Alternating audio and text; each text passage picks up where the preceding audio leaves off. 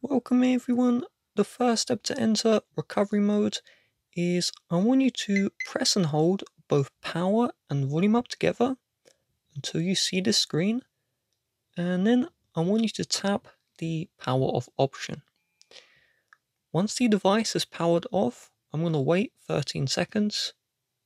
It's an arbitrary waiting time. We just need to make sure the phone is fully off. And then we're going to press and hold the power button until we feel a vibration. And once we feel the vibration, we're going to release the power button and then we're going to hold the volume up button.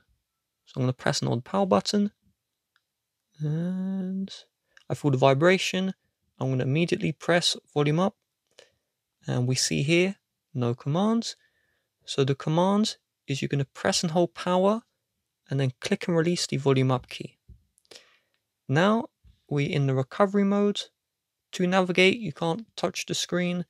Instead, you need to use the volume down and volume up keys to switch the option.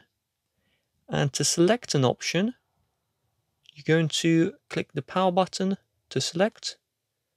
And you can see select and then go up and down. If you tap the reboot system now, that will just reboot you back into the stock firmware.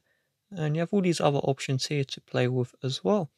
With that being said, if you'd like to help support the channel, please do check the description.